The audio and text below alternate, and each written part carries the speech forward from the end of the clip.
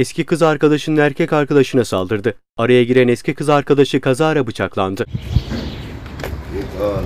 EA çay ocağında oturduğu sırada farklı masada oturan eski kız arkadaşı İD'nin erkek arkadaşı Eyle ile tartıştı. Tartışma sırasında EA ekmek bıçağıyla Eyle'ye saldırdı. EA bu sırada araya giren eski kız arkadaşı İD'yi kazara bıçakladı.